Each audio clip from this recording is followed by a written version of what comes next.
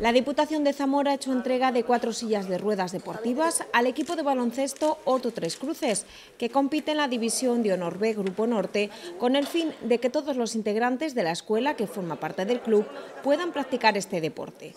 El presidente de la institución provincial, en un acuerdo aprobado en pleno, decidió la adquisición de estas sillas para cubrir la carencia e instó a todos los clubes mayoritarios de Zamora a apostar por un fin común que es importante que miren también el aspecto social eh, del deporte. Y desde luego, esto ha sido un ejemplo que me habéis dado a mí. Eh, hemos respondido como hemos podido, creo que satisfactoriamente, pero la Diputación de Zamora está dispuesto a embarcarnos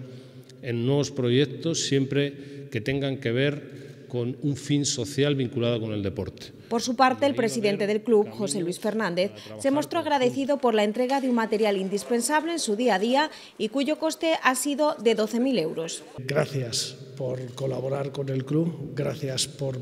hacer posible el comprar cuatro sillas para la escuela y los propios jugadores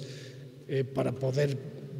hacer eh, nuestro deporte favorito. Por haber aprobado las cuatro sillas estas que que nos viene muy bien para la escuela, que realmente ellos van a ser el futuro, la escuela,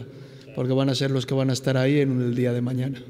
Un ejemplo de esfuerzo y superación el que realizan estos deportistas, que ha sido reconocido por la Diputación en un acto en el que estuvieron también presentes varios de los integrantes del club y el diputado de Deportes Santiago Lorenzo.